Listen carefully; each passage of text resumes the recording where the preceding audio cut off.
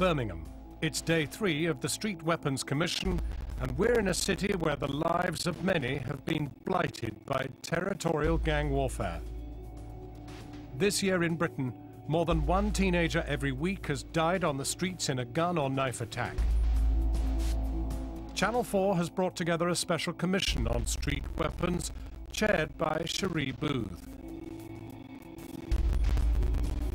Their task to find out how we can turn back the tide of violence. Isn't it the police's job to stop people getting killed on the street? On her team tonight are Ian Levy, who set up the Through Unity group to educate children about knife crime after his own son was killed in a stabbing four years ago. What are your views in relation to the availability of knives? Liam Black, a leading social entrepreneur. That doesn't sound very revolutionary. Teach them how to use computers. And criminologist Howard Williamson. You're concerned about kids getting excluded from school and then abandoned, forgotten about. The team is in Birmingham to find out the truth about street weapons. And we will reveal the details of a comprehensive new study undertaken for the Street Weapons Commission by the Centre for Crime and Justice Studies.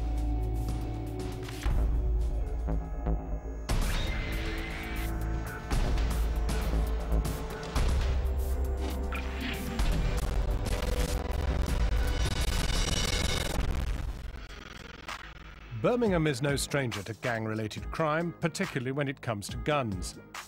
At the beginning of this century, we were plagued obviously by shootings, and most of them could be described as assassinations. At its peak in 2003, 27 people were murdered in gang-related gun crime in the Birmingham area. Most killings were gang on gang, black on black, and didn't receive national coverage. It was on New Year's Eve 2003 that such incidents did come to national attention, with the drive-by shooting of innocent partygoers Charlene Ellis and Letisha Shakespeare. The girls were gunned down in a hail of 30 bullets fired from three weapons, including a submachine gun. My daughter's life was cut short by this killing. This has got to end. Shocked by how gang violence appeared to be out of control, the police and community acted with a range of radical measures never seen in Britain before. It's now claimed the country is suffering from an epidemic of street violence, but in Birmingham it appears the situation is improving. Though violent gangs do still exist, the West Midlands Police estimate there are 400 gang members in the northwest of Birmingham alone. In March last year, 16-year-old Odwayne Barnes, a member of a gang called the Bang Bang Crew, was stabbed to death in Birmingham city centre by three members of a rival gang. His loosely tied trainers had come off in the pursuit, and the judge said today that his three killers were hunting him through the streets, their knives out. But this was one of just two gang murders in the whole of 2007, a massive drop from the 27 killings just four years before. So how has Birmingham done it? The commissioners wanted to know the true picture and whether this city could be a model for the whole country. The hearings were held here in Birmingham's Town Hall. Two commissioners have special connections with the city, Lord Geoffrey Dear as a former Chief Constable of West Midlands, and Mark Johnson, who grew up in Birmingham and lived here when he was a violent offender and a drug addict. Now fully rehabilitated, he works for the National Probation Service and the Prince's Trust. The first witness is Barbara Sawyers. Barbara's world shattered when her son Daniel was shot dead in 2003. Like Charlene Ellis and Letisha Shakespeare, he was an innocent victim of gang warfare. Barbara turned her grief into action by setting up Mothers in Pain. They support parents dealing with the fallout from gang violence and organise activities for kids trying to escape the streets. August coming, it'll be five years. Um, I can't really explain it. It's like I take day a day at a time. I mean, when my son died, I took the first six months I took off work. I had a letter come through the post from where I work, um, I'm going into half pay. And it was as real to me as that. I mean, I was mourning and grieving for my son, but life still went on. I had to pay bills. I have two more children, and my life's changed completely because I'm very protective. I mean, so much so, me and my, my son, will be 21 this, this year, we, kind of like clash because if I hear a siren, I'm phoning him. Are You're you frightened right? for him. Yeah, and I'm not giving him a chance to live his life because I'm that frightened. And it really saddens me now that every, nearly every other day you read or you watch the television, it's still happening. And that just, I'm very saddened by that. It breaks my heart to know, well, whatever's happening, it's not enough, basically. Whatever the government are doing, it's not enough. It said that you argue that too many organisations and groups involved in tackling violent youth crime do not, in truth, really want to put an end to it, because that would mean an end to their funding and their sense of self-importance. This is what I believe. That's it's quite my, a claim. This particular trust came up to me. I'm a vulnerable mother. I've lost my son. Oh, we can help to do this. That's all I wanted to hear because I wanted to make this difference. And all this person done was use my name on his application bid to get money. I never seen him again. You know, and this is, I know that for a fact, and this is what I'm saying. There's a lot of people, and I actually use the word, they're prostituting off, um, or pimping even, off my, people like my dead child. Well, when the government actually read a bid, it's ba- I think they're supposed to just stamp it because it looks nice. They need to send people out to these organisations or tr- trusts or wherever they give their money to, and they need to say, I need to see the success. I want to see the bodies behind these names, and I want them to give a testimony and say to me, how has this organisation changed my, um, their life? And what does Mothers in Pain do? Well, what we do, we came about, it's not just myself, it's another mother named Thelma Perkins. And we just got together because we realised there was nothing out there for us. There was no, no offence to the police. In my case, the police done an excellent job. They caught the criminals and they're now behind bars. Um, but there was other families who the police weren't so supportive to them. So we just set up this organisation on the back end of that. Like we support parents who've got to go to court with their children or problems at school. And we also have a Saturday class that we take in children, teach them to cook, creative stuff, and one-to-one sessions, group sessions on, not so much mentoring, but we talk to them to try and show them the life of the gun and the knife is not the way. You know, we try to build, I don't know, I suppose boost them up and give them some kind of self-worth.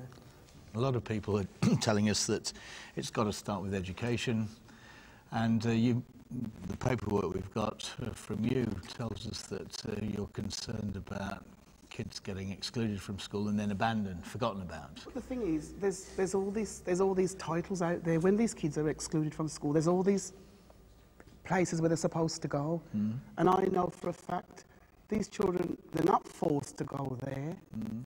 I mean, I've got a mother who's had four children, and while one of her children, they've all left, they've all been thrown out of school at the age of 10. And she had no aftercare, nothing. And it's not because she hasn't hunted for it. She says, everywhere I go, Barbara, no one cares. She's done all the so-called channels where she's supposed to go down the avenues. Nobody cares. And it's only when the kids get into the system of the like, prison system, is, that is when people want to care for them. It's too late. Well, I think, Barbara, you okay. yourself going into, as you do, and, and you talk about these things, are you able to make a connection with some of these kids at least? Well, the, yeah, we had a, child, a, a young man the other day. He was on an ASBO, and we took him in under our wing as Mothers in Pain. He's now doing three days a week um, on a, as a mentoring young people in the schools. And he was like basically giving up to say, well, he's finished. And He's we, just a bad boy. yeah, well, that's what he was labelled as. Mm-hmm. But you just, and sometimes it's just having the time to talk and the right people to talk to these. You need people of the same community or the same understanding to understand. And like people like us, we live in the problem every day and we know what the problems are. We probably can't solve them without help, but we can try and get in there at least rather than just give them up. Thank you, Barbara Sawyers, for coming and, and, and sharing that with us. In part two, the Street Weapons Commission hears how the West Midlands Police have introduced some radical changes, changes they claim have brought about a dramatic drop in violent crime. And what is the reality of life on the streets for Birmingham's youth?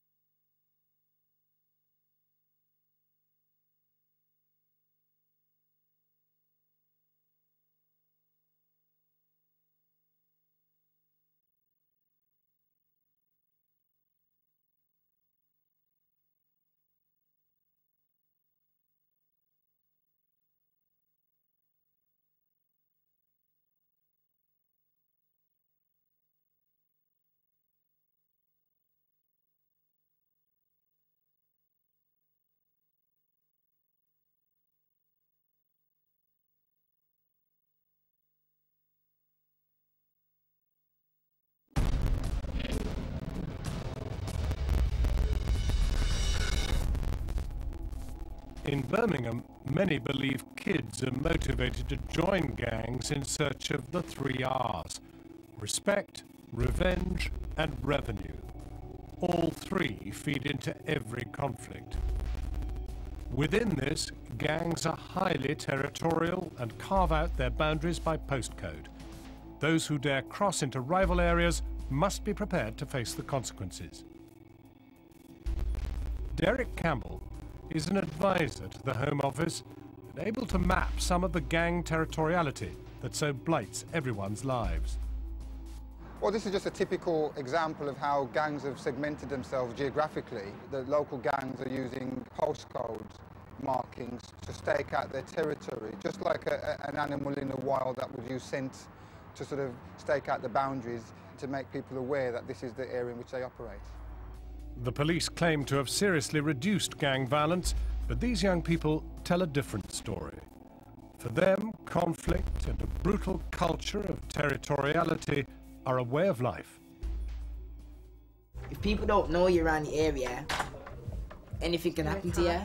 I think it's best when you don't know people, because for me personally, I know a lot of people, and like, I find that people that know people get into more trouble. Yeah, but you don't really. Boys have to do that though, innit? I know. Just boys have to do that. Yeah, but I used to go to school out of my area, innit? And um, like because, because the first day I went to the school I had problems in it because that, that school was con- like, connected with a certain gang in it. Even if you're not in the gang thing, like people want to associate you with it because you're from the area in it. When you're in a gang now, you have to show that you're loyal to other gangs and you have to do what they're doing. See if you're not walking in the same footsteps that your gang's walking in. you'll get you'll get kicked out of the gang basically, and then that gang will switch on you. If you don't belong to something, that means you can get beat up from both gangs. So you need to belong to something. These are not isolated opinions. I have been um, assaulted with a knife. That was just some kid trying to start a fight and trying to mug me. He pulled out a knife. I turned to run and he lunged at my leg. It used to Um, be gangs, 21 year olds, 27 year olds. Now you'll see 15 year olds, even 12, 13 year olds threatening each other. It's quite disturbing when you see a year 7 child or year, a year, ele- you know, an 11 year old girl with a knife in her little handbag. I think if things appeared more tough on If things were a knife violence, harsher, they wouldn't be so relaxed about it. I mean, no one worries about stabbing someone else because you get away with it. The police don't have a grip on the situation. If they did, I wouldn't have friends right now with knives the tender age of 13. I wouldn't have been threatened with knives. My friend here wouldn't have been stabbed. But the West Midlands police believe that by tackling Birmingham's culture of violence head on, they have seriously stemmed gang violence. Certainly, the figures show a massive fall in street crime, a fact the police attribute to some innovative approaches.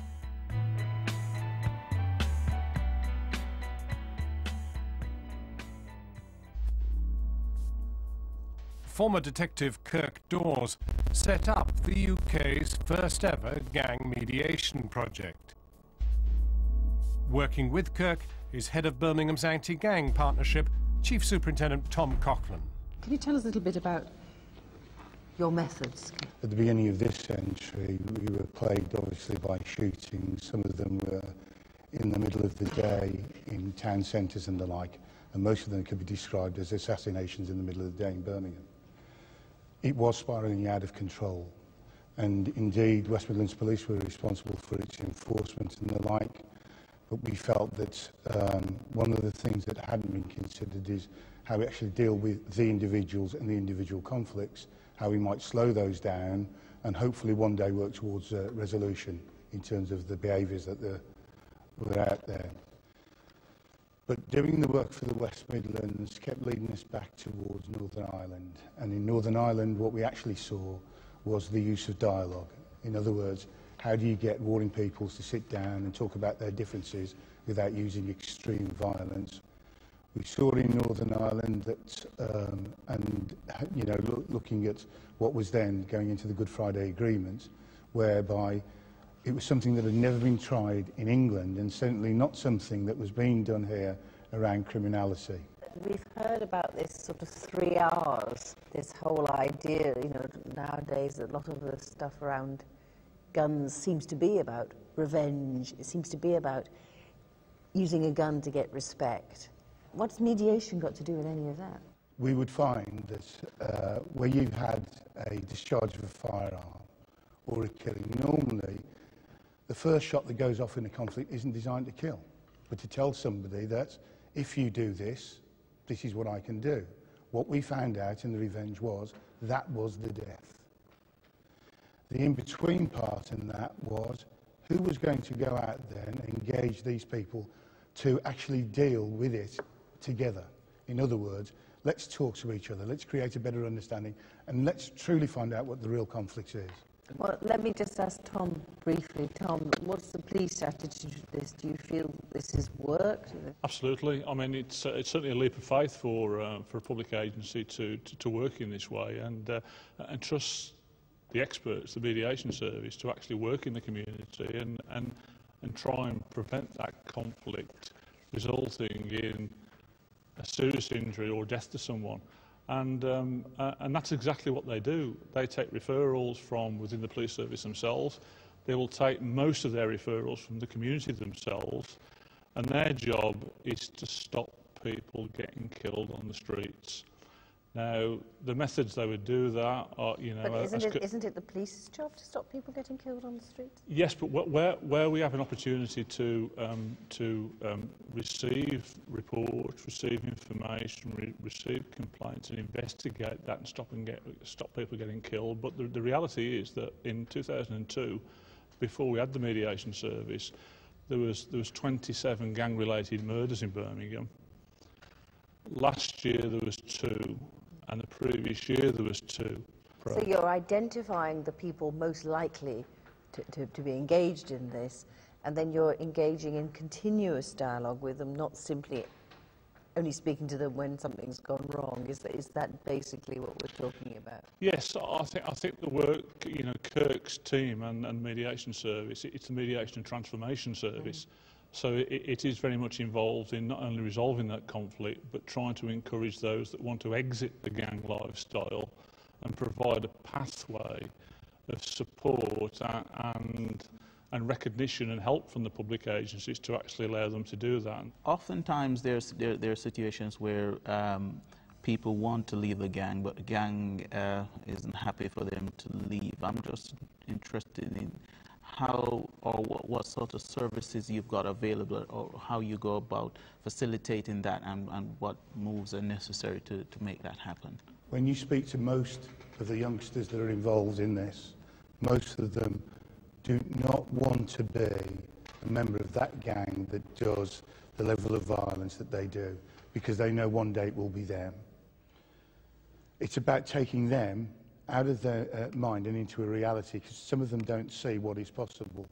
By engaging them, um, what used to be for them coming out on license would be a visit to a probation officer once a week. That would be it for maybe an hour, if that, if that long, it might be five minutes. Within the system that we operate here is this. They have a mediator for the conflict. They have a member of a mentoring team. They will have the uh, police offender manager and they will have the probation officer. With any given um, sort of week, two-week period, they'll be seen probably three or four times.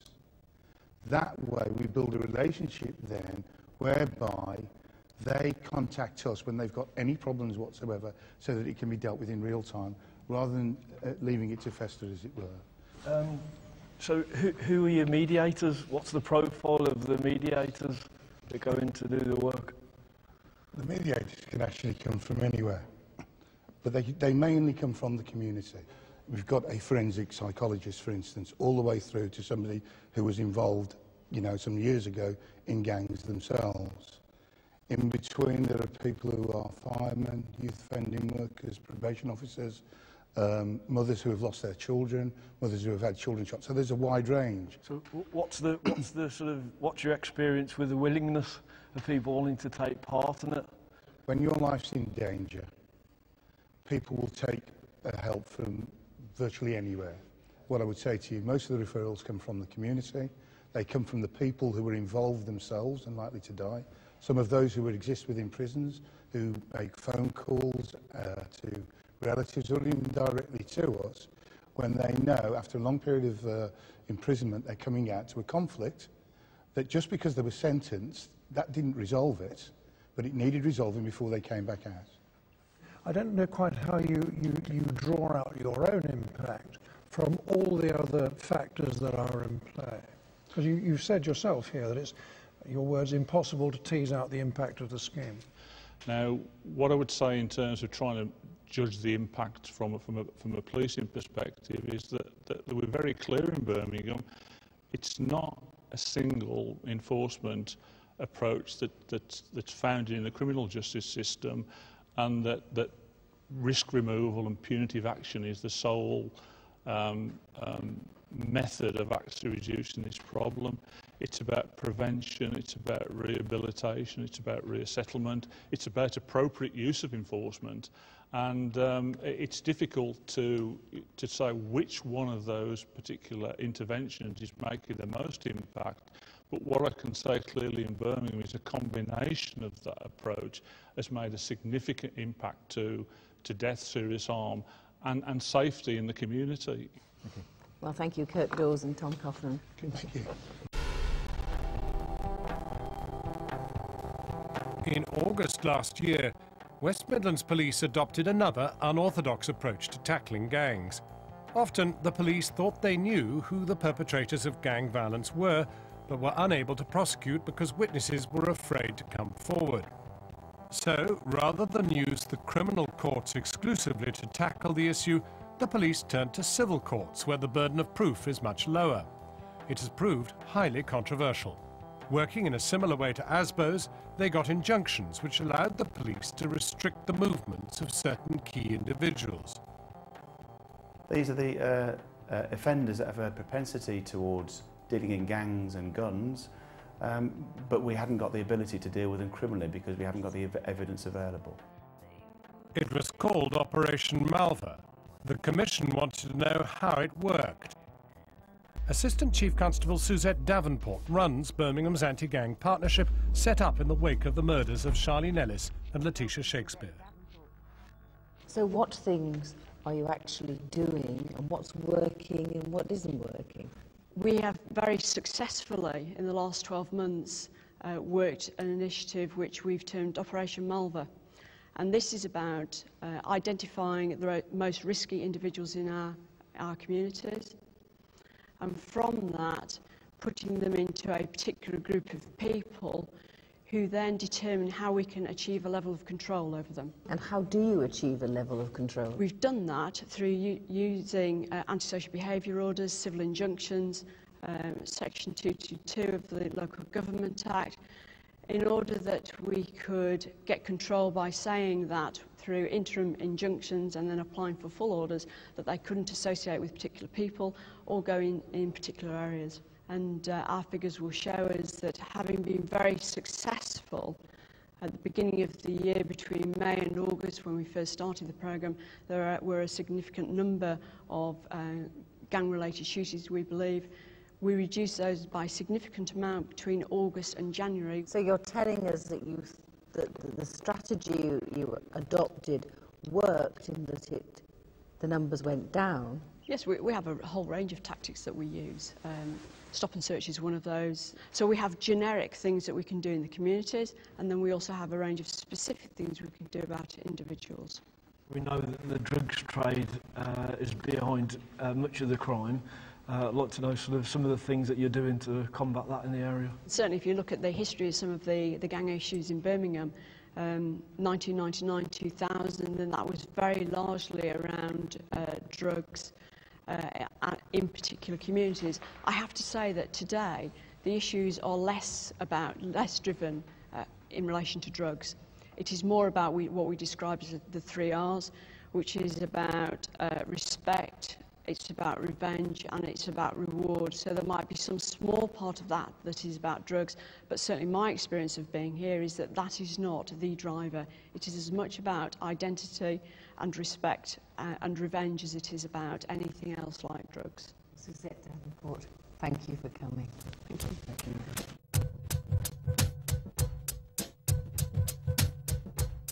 Whilst police initiatives mean violent crime has plummeted, the issue still has a big impact on the local community.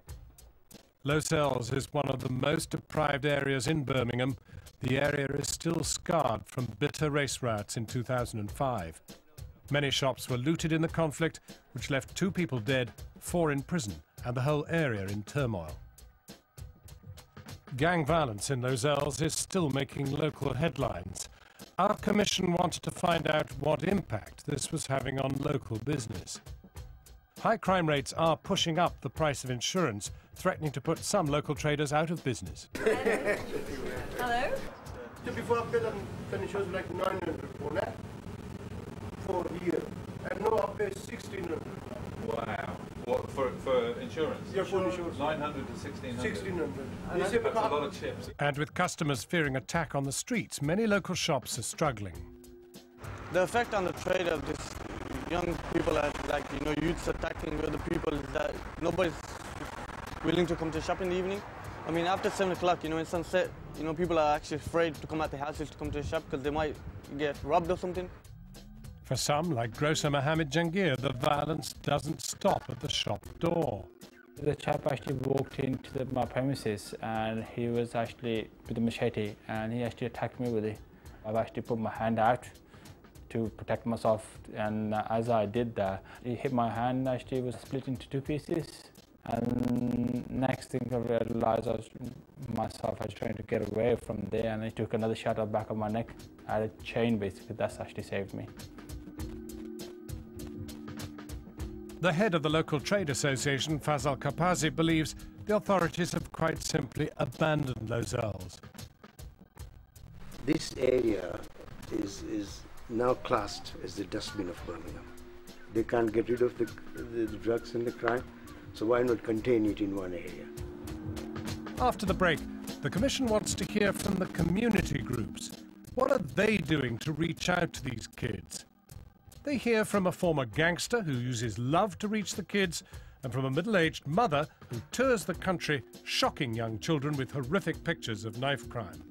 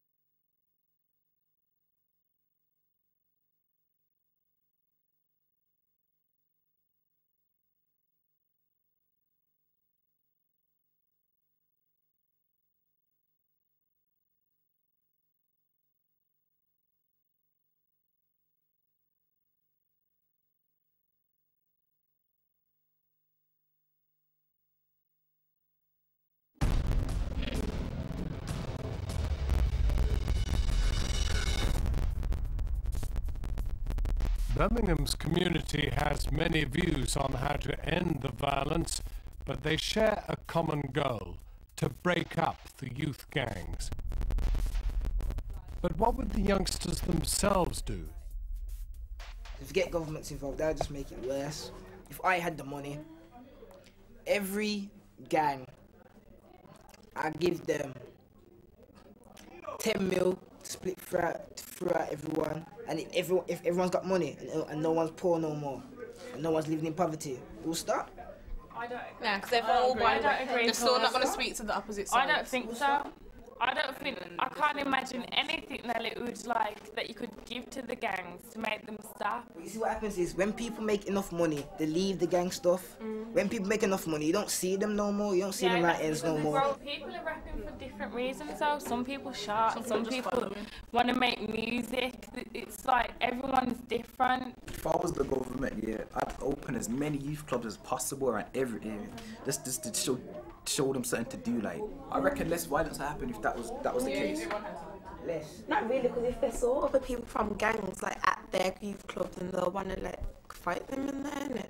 Because they're in their territory. Some people just want to go out in there, just create violence, and some people want to change. Because I've spoke to people that say, I want to go to church, I want to change and that, but I just don't know how to leave. I'm t- in change too nobody. deep. Could you just imagine it though, to have the honest truth, just like being able to go to a party with everyone from every oh area. so oh my god, Oh, it was party as well. No Trust me. No knives, no beef, no nothing. It would just be the best. That would be Yeah, sick, would. but just imagine just one day with it. The next witness, Anne Oakes Odger, is a mother on a personal crusade. For the past two years, she's toured the nation's schools showing children as young as 11 graphic pictures of knife injuries. Now you actually go into the schools and you target year seven pupils in particular and you try and speak to them in their language, if I can put it that way. We go into the schools um, and show the young um, year sevens in particular what can happen if they carry a weapon in the foolish belief that it will protect them. And when you show young people graphic photographs of fingers hanging off and other um, injuries um, inflicted by their own um, knife, they do tend to take stock. These are some of the images Anne shows the children. She believes it is the only way to get her message through. So am I right in thinking that it's uh, an information giving sort of project or do you actually engage sort of one-on-one -on -one with individual uh, children? Well, last year I linked in with the Safer Schools officer and went and gave talks to the children there on the basis of assemblies. I took pictures of Wesley growing up and focused on Wesley at their age. So Wesley was a real person to them. Anne's teenage son Wesley, an innocent victim of a knife attack, was stabbed to death in 2005. By the time I um, explained to them what actually happened to Wesley, not only was the information about the loss of Wesley and the knock on effect to us as a family, but also I gave them something else to think about, which is the perpetrators and the knock on effect within their family and their community, and, and what actually happens um, when somebody goes to prison. So, you know, there's more than one aspect um, to the information that, that they're given. What are your views um, in relation to the availability of knives? Uh, obviously, if, the, if, these kids are getting knives or having knives, it, must come from some source. We cannot say, well, we're going, we're going to ban knives because we eat our food with knives. This is the important message that we need to get across to young people, and that is at what point does that become the lethal weapon that, that a knife is? And the answer is as soon as they take that from the front door. Are you suggesting or advocating that there should also be a mandatory sentence for carrying a knife instead of a maximum sentence? What I would say is that whatever um, uh, laws that we have in place should be seen as a clear message of deterrent by those um, sentences being enforced when a person um, you know, is caught. Um, the one thing that I find a good thing is the response I've received from 11 and 12 year olds when they realise that I am a mother who is telling a real story about my son's life having been taken and they see the pictures of him wearing a school uniform the same as they are. Um, they, you can hear a pin drop. They do take that on board. But those that persistently decide to have a criminal mentality and a, a recidivist attitude towards um, society must pay the penalty and seen to pay that penalty. Um, thanks, Roger. Thank you. Thank you. Anne's project has a two-year lead on the Home Office, which has recently launched a national anti-knife campaign. As the blade enters the body, it tears apart the tissue structure. Young people helped develop the government campaign, which shows graphic images of knife crime in a series of posters and TV and radio ads.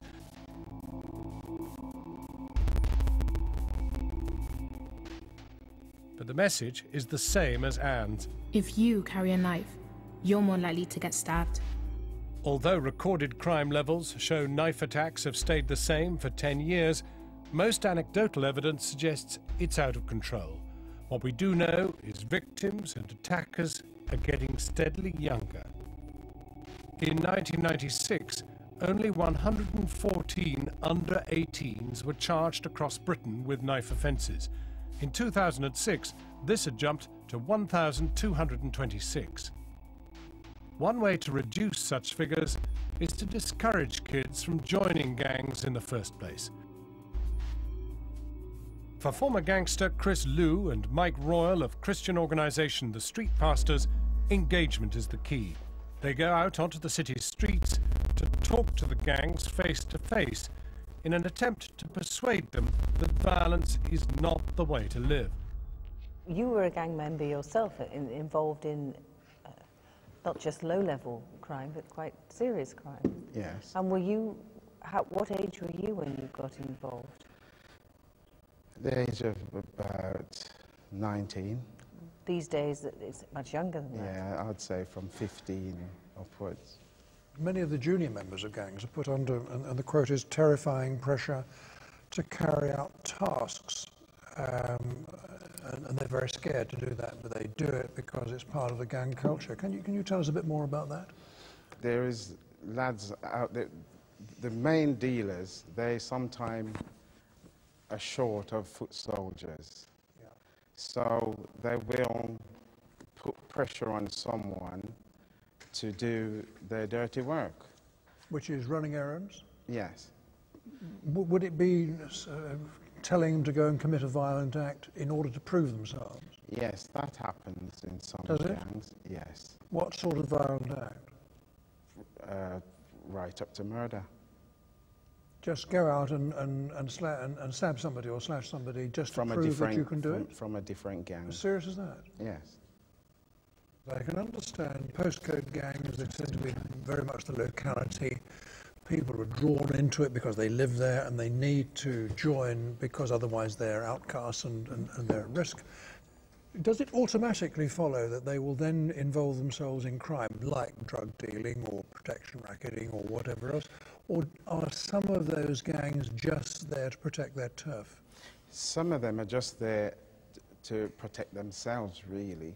I mean, there's a lot of them who don't want to be involved, don't want to be with gangs, but if they segregate themselves and, and be, walk to the city centre on their own, then they're vulnerable and they can get hurt. So what do they do? Go back to the, the company they know where they feel protected and safe. Mike, how do you um, get that change in mindset to try to turn a young person around from selling drugs on the street, earning £2,000 a week, to then saying to him, you need to work in that shop for, for 200 quid a week? I think the reality is you, you, you need to, to, to, to cause them to face the fact that they may be earning that now, but they will either be in prison or dead tomorrow. Um, and, and the average um, length of time on the street isn't very long. Um, I, I think that it's about lifting their aspirations and causing them to realise that, um, that, that if they actually go again and have a, a go at their education and, and, and, and a career opportunity, then actually there is a possibility um, that they could make something positive of themselves through that avenue. How many people do you think that it excludes because of the faith badge? One of our values is the sanctity of human life. And um, I think that what, what you're doing is giving people yourselves. Um, and you're giving them love. It's a word that's missing from service delivery. And so we're not knocking them over the head with a Bible or any other religious book. We're actually giving them ourselves. Um, and, um, and I think people appreciate that. Thank you both. Thank you. Mark Edwards runs the Young Disciples Youth Centre. The project provides gang members with high tech computers and a state of the art music studio. Some would say this is simply rewarding bad behaviour, but as a former gangster himself, Mark believes that to keep kids off the streets and away from crime, you have to give them something else to do. I started Young Disciples about eight years ago. At that time, there was so much things happening around young people getting shot, and there was lots of um, young people going astray and stuff. I felt like we needed a project to kind of divert them away from that lifestyle. And I didn't think that there was anything at that time around. The agencies didn't really know how to engage those types of hardcore youngsters. So uh, we set up Young Disciples as a user-friendly project for young people from the inner city areas. We employed local people from the locality, which had some type of connection with the young people in the area, and also as well, which could empathize with the young people. Yes, you are the stars. Yeah. Mark Edwards gave formal evidence to the Street Weapons Commission. So how can you engage with these young people when other services are failing? Well, I have experienced a lot of the issues which the young people in the inner city areas face. Um, And so is it boys like you that you're engaging with? Or like you were? Yes, I would say that. And I would say that that is one of the solutions. I don't know if you've heard of this metaphor before, but if somebody has a snake bite, they actually use the same venom Mm. to create an antidote. And I believe that if somebody has come from a criminal background or from a disaffected past, if they've been transformed or if they've gone through a process, which I have done, um, that they can be utilized to work back with the same client group where they're coming from. One of your big um, views on resolving violent youth crime is, is, is about providing non-academic children with a meaningful experience. Could you be as specific as you can about what that more tailored curriculum for individuals would look like? Okay, I'll, I'll give you an example. Um, at the moment, we run a, a social inclusion program through music. Some of the young people we're working with have learning difficulties, slightly dyslexic, slightly autistic. So their learning style is quite different to the general masses. Now, what we do now through our music program, we introduce them to computers, so they become computer literate. In a school setting, they're quite um, frightened of that setting to go behind a computer.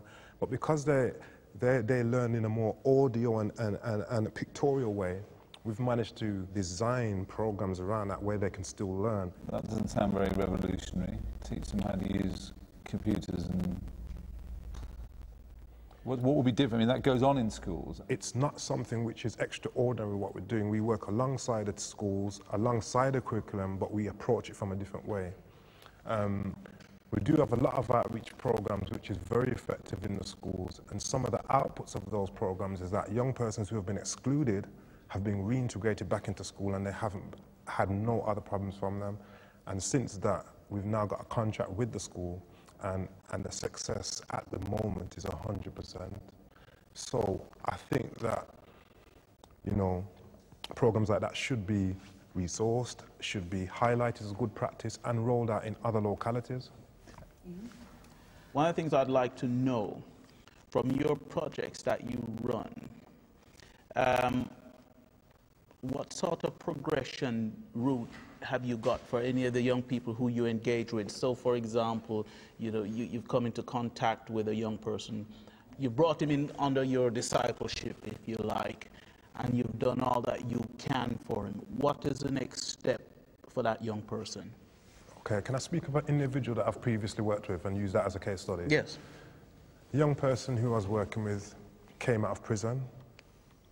Um, he was inside for over five years, came out, and the transition from prison through university, now into a job. That's the type of progression that I'm dealing with personally. Well, Mark Edwards, thank you for that. Thank you. Thank you. The papers tell us we're in the middle of a street crime epidemic, but the headline statistics hide a far more complicated picture. Are Britain's streets really getting more violent? After the break, the Street Weapons Commission will hear from Britain's leading policeman in charge of violent crime to see if he can shed some light on the truth behind the numbers.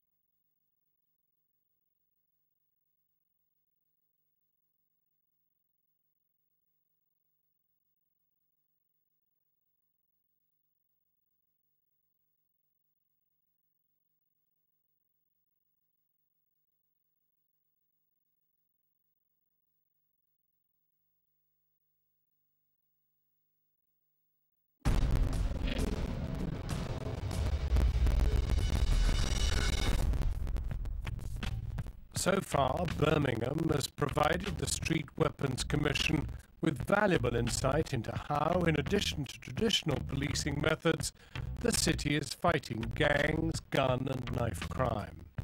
The West Midlands Police have adopted the use of civil injunctions and a radical gang mediation service to cut street crime. But the Commission has also heard contradictory evidence from the streets. So what's the reality, not just for Birmingham, but for the whole of Britain? The headlines tell us that we're immersed in an epidemic of street crime. At the same time, violent crime statistics appear to be going down. Keith Bristow speaks for police forces across the country for the Association of Chief Police Officers. So, from your perspective, how would you assess the extent of youth crime, youth violent crime in Britain today? What the statistics tell us is that, um, in general terms, both British Crime Survey and recorded crime, we're making real progress. Um, after a significant rise in violent crime since 1997, we start to see some of that top off, and we actually start to see some reductions now in gun crime. But I think the really big debate is about what people see outside their front doors, whether that's perception or reality. And so, what are you finding at the moment? The experience doesn't match the reality? An issue that concerns me is that um, if you look at gun crime, for instance, we're seeing some pretty significant over the last few years drops in recorded gun crime. But I do think there's a whole range of activities involving guns and violence that people aren't reporting to us. And I think that's a very real problem. As a, what, what sort of things would they be then? well, I think it tends to be less about people actually being seriously hurt or killed as a result of, for instance, gun crime, and more about guns being shown or people being aware of shots being discharged. And I think it's really important that all of us stand up and say we need people to tell us what's going on. We need people to tell us who's doing that to give us the best opportunity to do something about it. We get the, the impression that there are more guns and indeed knives around. Would that uh, accord with your view? Uh, I think in general terms, yes.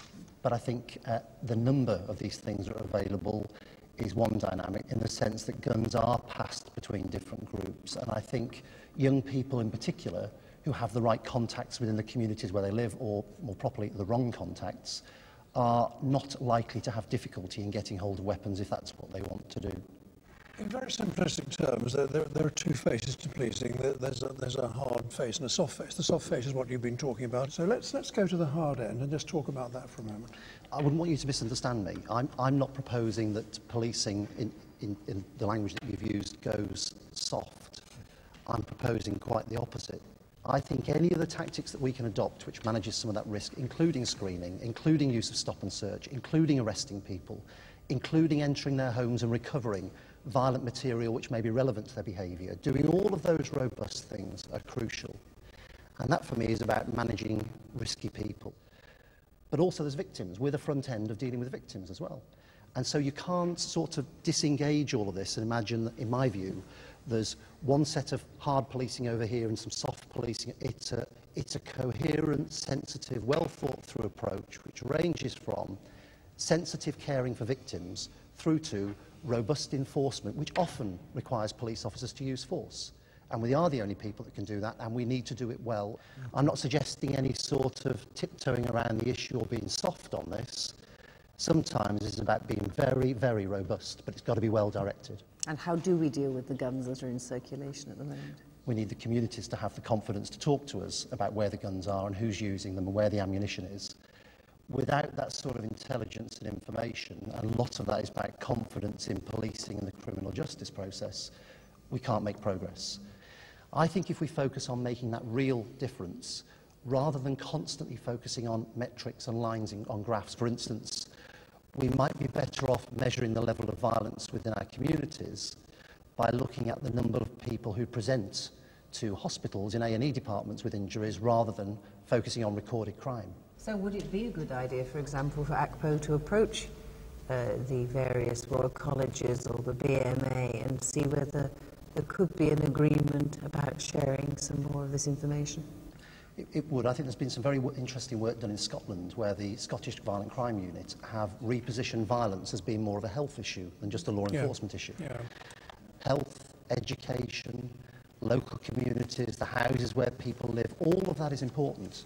It's very easy to talk about this as being violent crime and it becomes a policing or law enforcement issue. Well, yes, partly, but mostly it's about all of us. Um, a very important point for me is we as a society have to repudiate violence. We make choices in a civil society to say we're willing to give up some freedoms in return for greater safety and security. Thank you. Thank you. Thank you.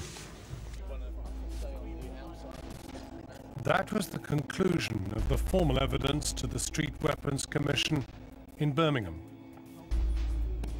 You can join us live this Sunday evening at 7 to hear the conclusions our commission reaches on street weapons. But first, tomorrow night, the truth about street weapons visits its final destination, Glasgow. If you look at what the UN and the WHO are saying, they said that we were the most violent country in Western Europe. Glasgow gang culture probably stems back maybe two, three hundred years, or even perhaps as long as the city's been here. It's one, one, one. But again, it's, will the powers that be listen, listen, listen?